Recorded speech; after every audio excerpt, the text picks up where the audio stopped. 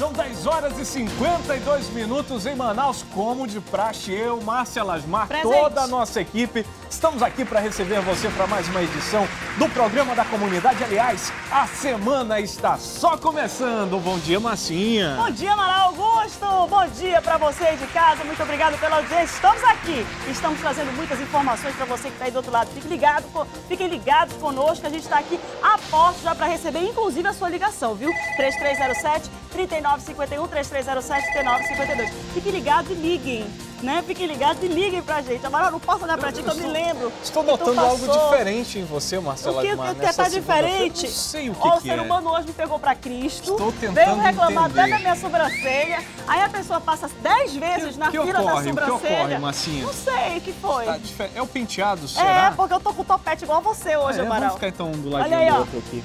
Agora, Faltou- o faltou único só a problema- orelha. Vamos- vamos a abrir um pouquinho, Não, vamos abrir um pouquinho. É, vai, Agora, agora. A pessoa passa 1.500 vezes na fila da sobrancelha. Quando eu chego lá, só deu pra até a metade, deu uma e meia só. E fica reclamando de Não tem mim problema, ainda. eu te dou aqui onde estou. dá um pouquinho que a gente Um pouco, implanta aqui colocar umas penugenzinhas aí pra E ajudar. só Deus e o pessoal lá do... E a Carlinha e a Ivana sabem o que, que eu preciso fazer aqui pra poder dar efeito Ah, nessa é? Sobrancelha. é? E uma dermopigmentação Dermo o quê? Dermo o quê? Dermopigmentação. Porque o ser é humano sério, tem né? cabelo Ou seja, sobrancelha, pin- que pintar a pele. Isso, Ah, uma tinta orgânica, entendeu? E sai depois. Pintar a pele, rapaz. A tatuagem quase definitiva. São 10 horas e 54 minutos. Vamos dar uma olhadinha aqui no, nosso- no nosso Agora Impresso. Olha só. Você que tá aí Vamos, do outro vamos lado. dar uma olhadinha, vamos. Dá uma olhadinha aqui, ó. Fala aí. Edição Olha de aqui, número 952. Exatamente, que traz aí, ó, mais uma dupla é amarrada, jogada de carro e executada a tiros. Viu? A exemplo do que aconteceu aí no início do mês, a primeira quinzena aí de novembro, a gente vai trazer para você também essa informação desse- dessa execução que aconteceu ontem, no domingo, e com mais execuções, que ontem o domingo foi perigoso, viu? Essa edição de número 952. O que, que tá olhando aí, Amar? Olha esse Amaral. Não tem destaque hoje da página 24. Destaque da página falar, 24 olha. hoje é Cruzeiro Não, e Vasco. Por que você tá cansado? Só, eu, eu, eu tô você tá, cansada. tá correndo nos pensamentos. Mas olha, eu, eu Tanto quero fazer um protesto aqui. Com os meus amigos lá do Agora Impresso. Segura, por favor. Imagine só, olha. Destaque da página 31. Me colocam uma diabinha. Meus amigos. O Natal está chegando. Olha o espírito natalino. Não faça um negócio desse com a gente. Podia ter colocado a Mamãe Noel, meu povo. Já tem. Rapaz. Sai daí, me dá pra cá, toma aqui. Marcela Lasmar, isso é Ei, me ajuda aqui a mandar o beijo. Olha, gente, Não vou te ajudar coisa nenhuma. Pode mandar sozinha. Se vira, né, agora, né? Eu quero mandar um beijo pro Gladson Maclo. É isso, Ale? Maclo. Olha, isso aqui é beijo do Ar. Gladson McLaughlin. Gladson Maclof, do Santo Antônio. E também um beijo aqui pro Matheus Perotti, do Santo Agostinho, que é de Porto Velho. Mas tá aqui. Esses aqui são os beijos do Arlen, que tá mandando pros dois aí. Gladson que é bagaceira- Matheus Perotti. Perotti, só nome chique, Amaral. Isso aqui tudo o Rapaz. pessoal aqui foi batizado aqui na Finesse. É, no requinte. Internacional esse É, beijo um de negócio- hoje. Beijo internacional é coisa pro seu Carlinhos, não é? Você não é chamar Eu seu acho que merece um Beijo, beijo bodozinho. bodozinho. Bo- Beijo, bod... Bom dia, seu Carlinhos. Carlinhos, bom dia. Manda, manda aí dois beijos bodó aí. O Maclof E pro Perotti. pro Perotti. Falta um, falta um. Aê! Aê, papito, aê! Até o Carlinhos tá bonito, né? Mas Carlinhos Tá, tá, tá, assim, diferente, né? Tá mais corado. Andou tomando um combiron, foi, Carlinhos? O negócio tá, tá, tá, Combiron? tá com a pele bonita, rapaz. Dá, dá uma... Olha só como é que ele, tá. Ele né? chegava aqui amarelo, anêmico. Oxe, então fez efeito. Fez efeito. Visitou a mamãezinha, né? 10 horas e 57 minutos. Esse é o seu Carlinhos. Olha, uh, uh. Márcia Lasmar fazendo o look perpétuo e seu Carlinhos look. Não brinca não, colega, comigo, deixa... Você é gaiato, olha Ah, aí, meu. Deus, pronto, a dona Jesus agora desmaiou. Jesus. Moda Picha com outro olho que eu duvido. Olha aí, só no olho. Mexe o outro aí que tá paralisado.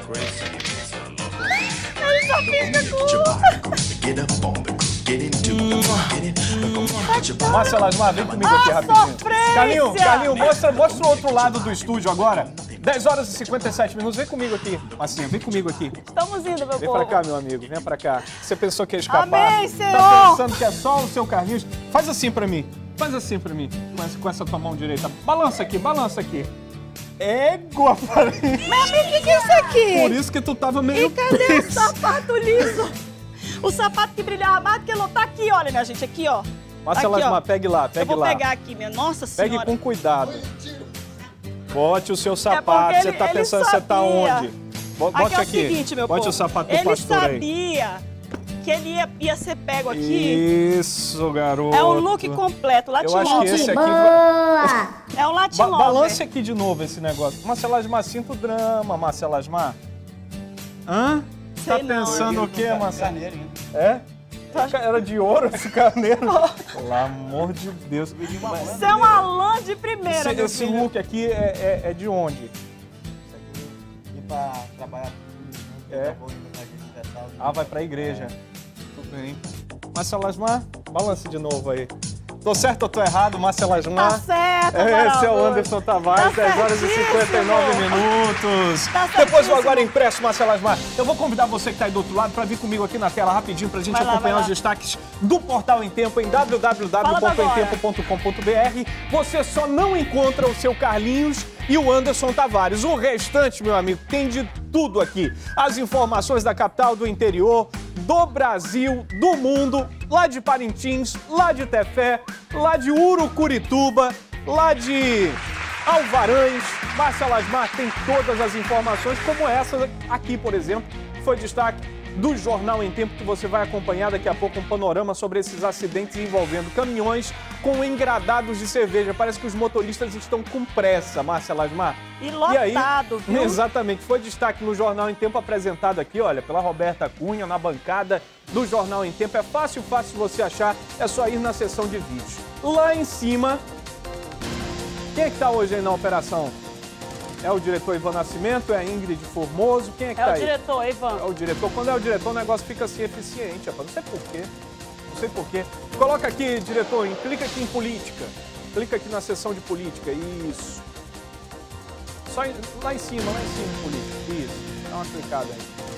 Vamos ver aqui se a gente vai pegar o negócio. Aí.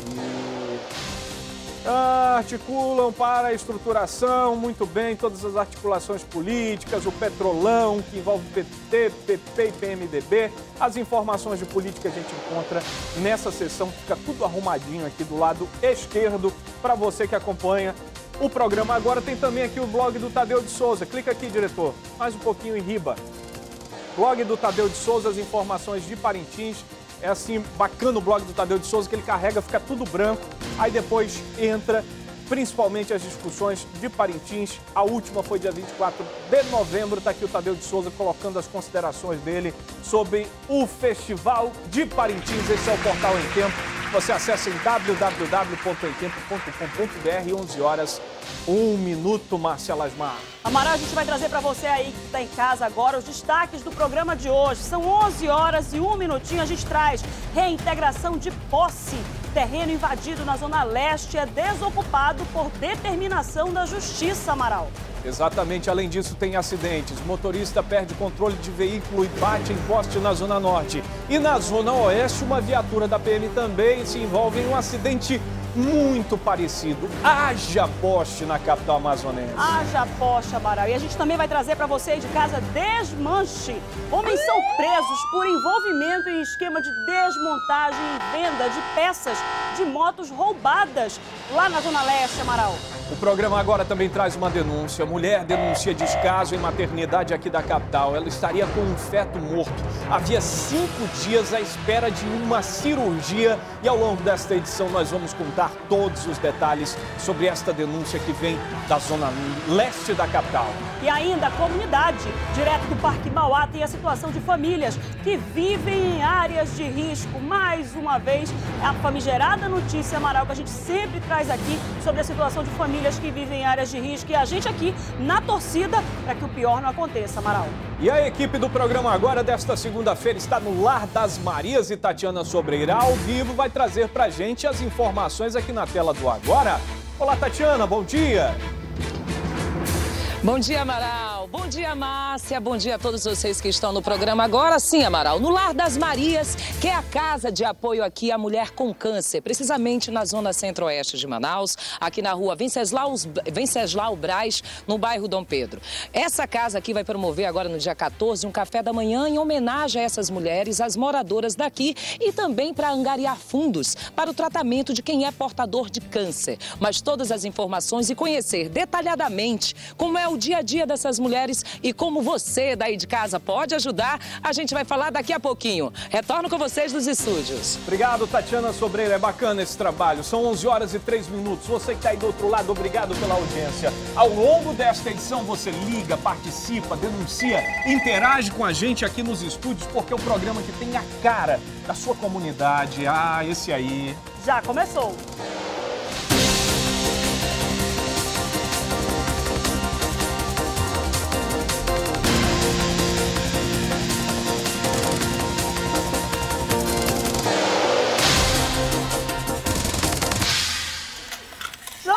Com o programa da comunidade. São 11 horas e 8 minutinhos. Ah, bastidores do programa da comunidade. Como eu queria. Você de casa pode participar também mandando mensagem pelo nosso WhatsApp 981772096. Agora eu tenho uma dica para você que está aí do outro lado assistindo a gente. Eu quero falar com você aí. Eu quero te passar uma super dica especial para você que quer mudar de vida, melhorar, realizar seus sonhos. É uma dica excelente para você que está aí do outro lado. É uma dica da Unip. Você que quer mudar de vida, realizar seus sonhos, fazer aquele curso que você sempre sonhou e ter o emprego dos seus sonhos, ganhando mais dinheiro, você precisa acreditar em você. Então venha estudar na Unip. Na Unip você tem aí professores qualificados e você pode fazer já já a sua a graduação em um grupo educacional presente em várias cidades do Brasil e pagando mensalidades que cabem direitinho no seu bolso. Sabe quanto? 139 reais mensais, isso mesmo. A partir de R$ 139 mensais. Essa é a sua chance de escrever a sua história, que você pode. Não perca mais tempo e inscreva-se já no vestibular da Unip pelo site www.aquivocêpode.com.br. As inscrições são gratuitas. É hora de você investir no seu futuro e melhorar de vida. Na Unip você tem professores altamente qualificados. É a melhor relação custo-benefício do mercado. Ligue agora mesmo para 0800 725 0045. Chegou sua vez. Venha para o Unip e melhore de vida, porque aqui você pode. Amaral. Muito bem, são 11 horas e 9 minutos. Você de casa, obrigado pela audiência. Este é o Agora, o programa da comunidade. A gente está aqui sempre ao vivo, trazendo as informações para você que nos acompanha em Parintins, Tefé, você que está acompanhando a gente em Itacoatiara. Alô, Itacoatiara, obrigado pela audiência. Em breve, ao vivo para Coari também, 11 horas e 10 minutos. Alô, Careiro da Várzea, você de Iranduba. Cacau Pereira em peso acompanhando a gente, você que nos assiste aí no Cacau. Obrigado pela audiência de todos os dias. 11 e 10, Márcia Lasmar, vamos falar sobre uma reintegração de posse lá na zona leste da capital? Pois é, Mara, a gente vai falar disso hoje ainda no programa, mas antes a gente vai voltar lá para o Lar das Marias. Lembra que você falou no início com a. Tatiana Sobreira? Ela tá lá agora e a gente vai conversar com ela para saber como é que tá essa movimentação lá no Lar das Marias. Oi, Tati, já entrou? Tá na porta para entrar, pelo que eu tô vendo, né, Tati? Tô na porta. Isso mesmo, Márcia, bom dia também. A você que está ligando o televisor agora. Márcia Amaral, um dos dados mais aterrorizantes também, que o que mata mais mulher, além do câncer de mama, é o câncer de colo de útero. Nós tivemos aí o Outubro Rosa, uma grande movimentação de conscientização. E aqui nesse espaço é onde abrigam mulheres que vêm de todo o estado do Amazonas e também de outros lugares daqui da Amazônia brasileira. Mas esse carro parado aqui na frente é um exemplo de pessoas que doam retalhos, dentre outros detalhes também que a gente vai conhecer aqui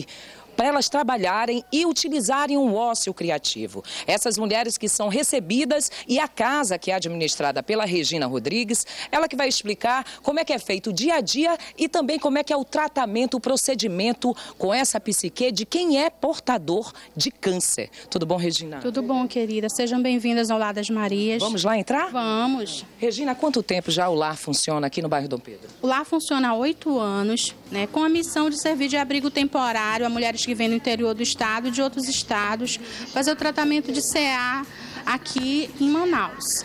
Isso daqui, todas as pessoas têm o direito a chegar, são encaminhadas pelas prefeituras dos municípios ou vêm diretamente do SECOM para fazer o tratamento ou acompanhamento aqui na casa?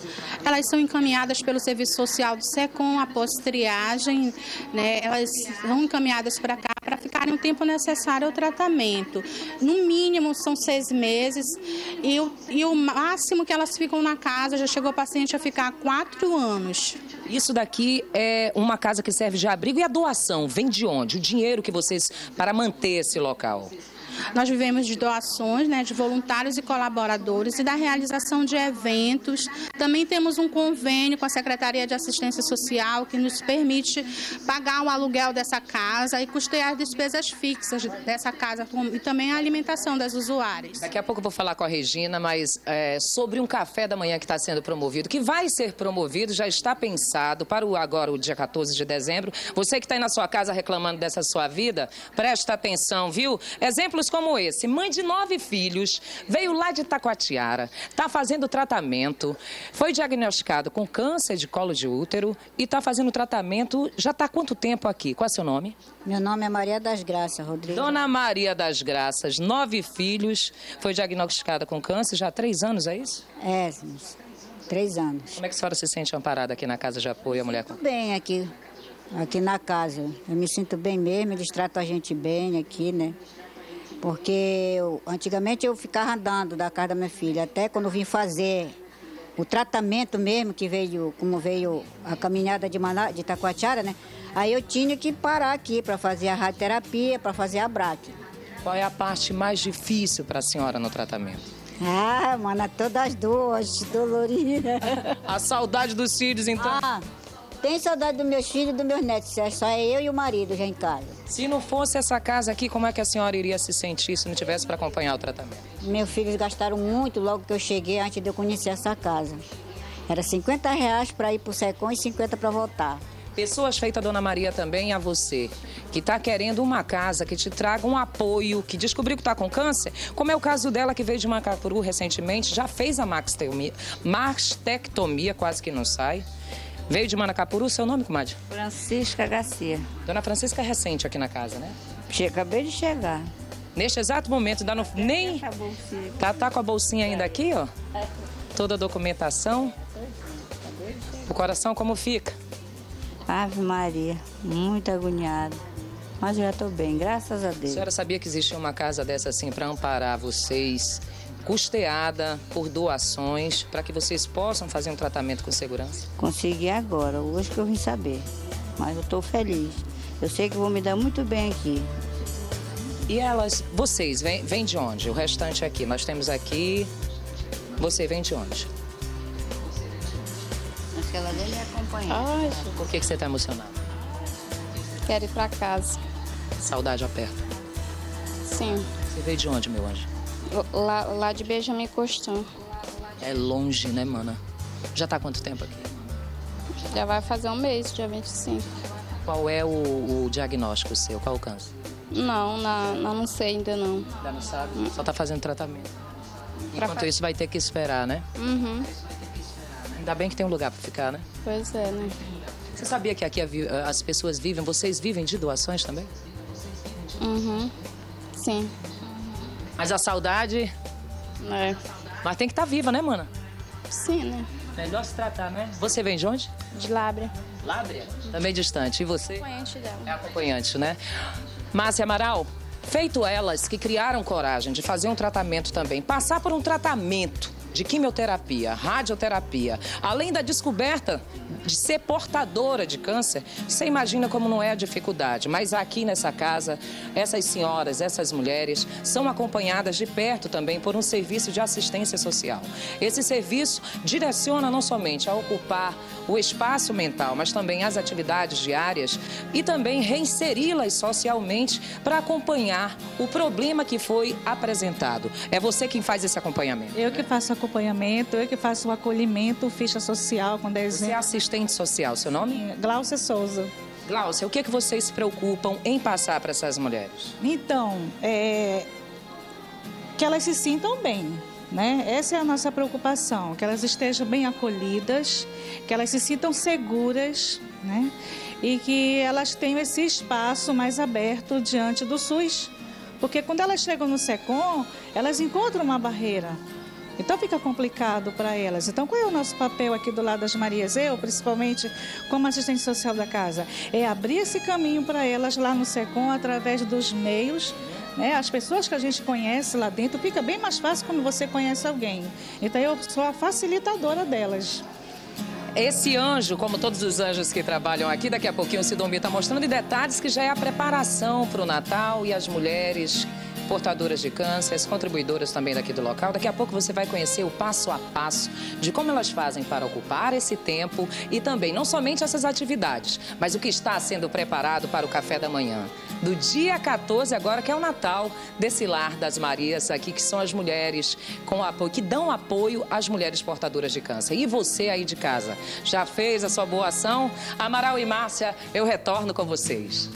Obrigada, Tatiana Sobreira. É importante avisar para o pessoal de casa aí, olha só que trabalho lindo, maravilhoso e imprescindível, porque nessa hora em que as mulheres são diagnosticadas com uma doença como essa, grave, mas que tem tratamento e tem cura, desde que descobertas com bastante antecedência, que elas mais precisam é disso, de acolhida, né, de um lugar para ficar, para se restabelecer, com pessoas que também estão passando por todo esse problema e que possam dar esse suporte para cada uma dessas mulheres que estão aí. E principalmente ocupar aí a cabeça, fazendo um trabalho artesanal, mostrando a criatividade. A gente ainda hoje no programa vai ver um pouquinho mais e conhecer um pouquinho mais dessas mulheres guerreiras que já são vitoriosas, que receberam um diagnóstico como esse e ainda aí sorrir, falar com a Tatiana, estar aí conversando conosco, já é de grande valia, já é uma força para elas, viu? E a gente vai estar aqui, olha, do lado. Lembrando que o Outubro Rosa é o mês de conscientização, mas os cuidados devem ficar aí durante todo o ano, durante todos os 12 meses, inclusive no Novembro Azul.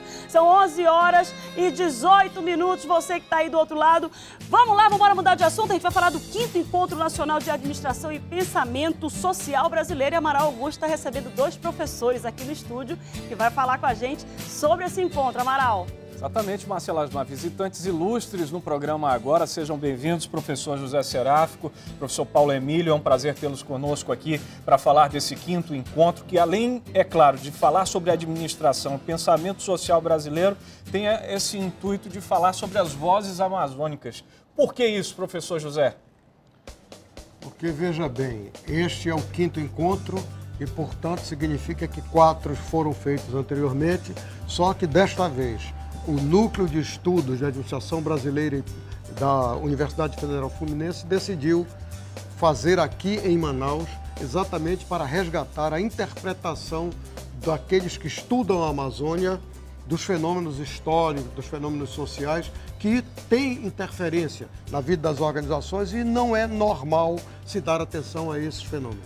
então, bem. o professor Paulo Emílio, que é o coordenador geral dessa rede no Brasil, está aqui exatamente para participar conosco e abrir e encerrar o evento. Interessante. Professor Paulo Emílio, como é discutir eh, principalmente eh, a administração aqui na região amazônica? Bom, não é muito diferente de discuti-la em qualquer outra região do Brasil, havendo a particularidade de que eh, o Brasil, por- pela sua enorme extensão territorial e por muitos fenômenos históricos também, ele ainda não é tão integrado quanto todos nós desejaríamos que fosse.